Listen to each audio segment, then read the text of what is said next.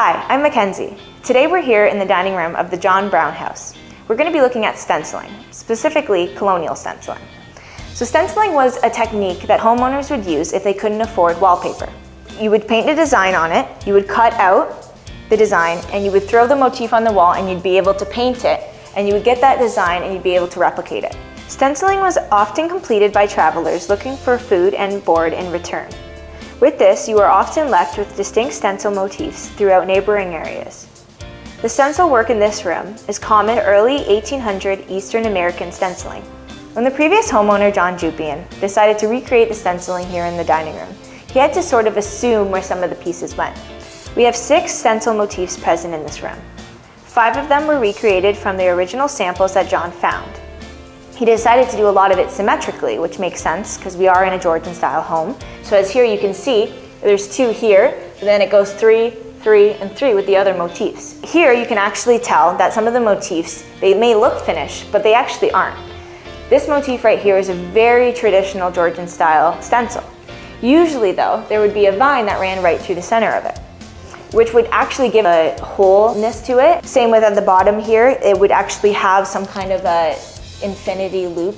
So these stencil works are actually created in a way that would give the motif some kind of symbolism, and if they aren't actually finished, sometimes it loses that effect. This floral one was found in the book American Stenciling, which the John Brown House is actually featured in. The previous homeowner, John Jupian, is a local heritage consultant. He lived in the house from 1979 to 2015. He decided to complete a single date restoration of this room. In the 1980s, when John was restoring this specific room, he took down a partition wall that ran from two-thirds of the room. When he did so, he ended up finding 1800s stenciling behind it. Because this was the best preserved example of it, he ended up keeping this section and he recreated what it would have been from floor to ceiling. And in that way, if he interpreted this, he'd be able to interpret the rest of the room in that style. In efforts to preserve the stencil work, John covered it with plexiglass and adhesive. There are two reasons why this method isn't exactly ideal. Over time, the strength of the adhesive has failed and actually pulled some of the stencil work off the wall with it. In this location where the window brings in a lot of sunlight, there is a highly reflective quality to the glass, making the stencil work hard to see. So instead, we are looking at newer alternative methods to preserve the stencil work. Our goal is to reinterpret this room stenciling by simplifying the colors and designs. This allows a lot of the focus to be on the stencil work rather than distract the viewers from it.